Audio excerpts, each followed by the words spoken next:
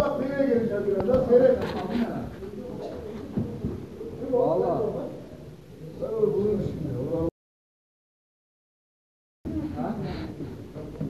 Ne oldu lan? Ne oluyor? Geçen karışan değil mi? İyi.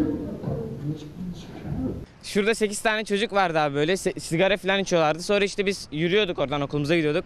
Sonra bir tane abi baltayla koşuyordu yanında arkasında iki tane çocuk.